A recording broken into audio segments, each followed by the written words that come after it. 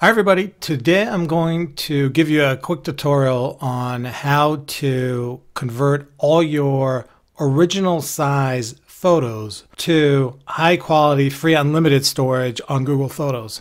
Now this is good in the cases where you accidentally selected uh, to upload original size, but it's also good if you were at the period of time before Google offered unlimited high quality photo service.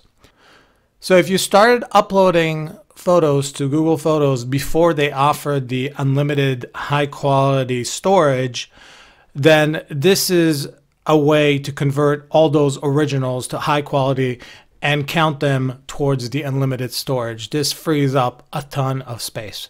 So let's get started. All right, so once you click on the link that's in the description that will allow you to get to this page, click the Recover Storage.